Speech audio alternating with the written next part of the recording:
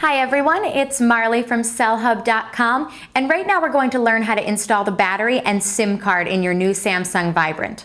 The first thing you need to do to insert the battery and SIM card in your new Samsung Galaxy is remove the backing on the phone.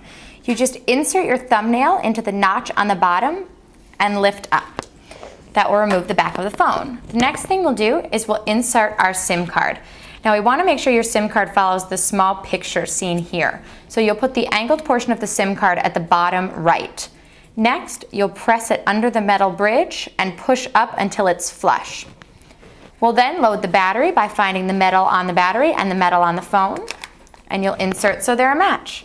We'll just replace the backing on our phone, and now you're ready to use your new Samsung Vibrant. Check back with us to learn how to use it.